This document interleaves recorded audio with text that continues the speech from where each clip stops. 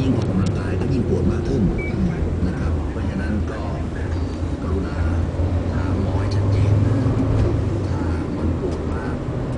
หรือว่าขาอ่อนแรงอันนี้อาจจะต้องทำผ่าตัดกับผลการเอ็กซเรย์พิเศษการออกกำลังกายก็ยิ่งทำให้ปวดมากขึ้นบางคนไปบีบไปนวดก็จะปวดมากต้องเยายาเลี่ยงแต่ว่าคุณ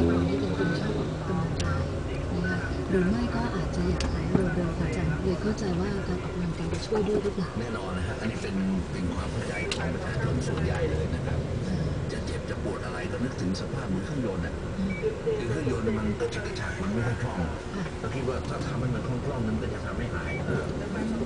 ครับมันไม่ใช่นะร่างกายคนเราแตกต่างกัน ถ้าเจ็บจะปวดมันต้องหยุด